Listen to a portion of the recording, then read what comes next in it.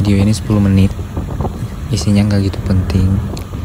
Cuman video gua running tadi sore. Jadi ceritanya gue iseng scroll video-video TikTok yang lama. Waktu masih sepedaan dan lihat satu video gue sepedaan di Dagu Utara. Terus tiba-tiba gue kepikiran pengen ke Dago Utara tapi udah nggak ada sepeda kan.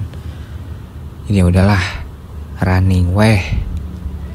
Ini gue start dari Indomart sebelum pertigaan yang mau belok ke arah Dago Utara. Pokoknya masih daerah bawah lah setelah terminal. Numpang ganti pakaian di Indomart sekalian beli supply minuman sama makanan. Kelihatan lah ya. Muka-muka malas beraktivitas. Ini bener-bener dadakan. Nggak tahu tiba-tiba pengen ke daerah Dagu Utara. Kebayang sejuknya terus lama juga nggak ke daerah sana. Jadi ya udahlah nggak ada sepeda lari pun jadi. Ini gue masih siap-siap terus gue start itu sempat pemanasan dulu di bawah sebelum ini terus start dari bensin. Hati-hati. Ini langsung nanjak. Kalau ini udah udah setelah tahura ini juga apa ya kalau dagu utara itu emang ngangenin sih. Tanjakannya walaupun pedes tapi ya enak gitu loh pas. Pasti ngap hehehe ya, jadi gue lari sendiri. Nggak ada planning juga buat lari tiba-tiba pengen weh gitu. Ini kalau teman-teman tahu ini tanjakan sebelum warung nangka. Gradiennya itu mungkin di 15 up. Nggak tahu nggak pernah cek gradien nggak punya depis. Jadi ya hajar we hajar. Nah, susahnya itu ternyata running sambil video itu susah geter bro. Nah ini sore-sore di warung nangka ternyata juga ada yang sepedaan. Si AAA ta ta AAA ada dua. Sepeda MTB kalau nggak salah. Apa ini? Nah di sini udah mulai ngeluh. Karena tanjakannya nggak habis-habis. Terus ini ada ada tempat kopi. Masih. bagus bro. Nggak tahu namanya apa ternyata Rani sambil megang HP bikin video susah. Respect buat orang-orang yang bisa bikin video sambil running atau sambil sepedaan. Karena emang susah banget. Tapi ya seru-seru. Ini nah, gue itu cuma sampai sini karena udah terlalu sore lah kalau mau lanjut. Ini itu pertigaan kalau kita mau ke tebing keraton belok kiri atau ke kanan itu kalau nggak salah nggak tahu namanya. Pokoknya ke kanan itu jalur Jumat hebat. Uh, pernah juga lah ke sebelah kanan waktu iseng-iseng ikut latihan Jumat hebat Nah, ini pesona wisata tebing keraton.